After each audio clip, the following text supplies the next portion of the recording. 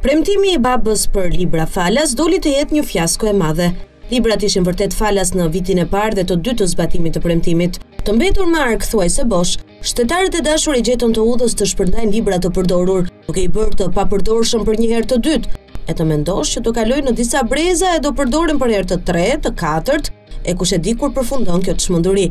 Megjithatë, mbetet ende opsioni për t'i blerë librat në librari. Por ç'po ndodh me libraritë në vend? Për të bërë sikur zbatohet premtimi librat falas, në librari furnizimi vjen me pikatore dhe kur vijnë, mbarojnë menjëherë. Mbi të gjitha, nuk vijnë të gjitha librat por vijnë pjesë pjesë që do të thotë, një herë vjen gjuha, pas një jave matematika.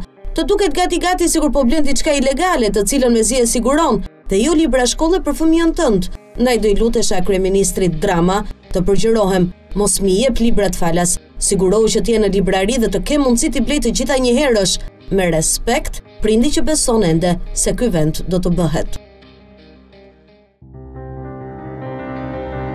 Pamfleti është një platformë mediatike analitike që u lind si domosdoshmëri e një tribune pa kompromis, si një zë i fuqishëm në luftën pa ekuivok ndaj krimit dhe korrupsionit politik në Shqipëri.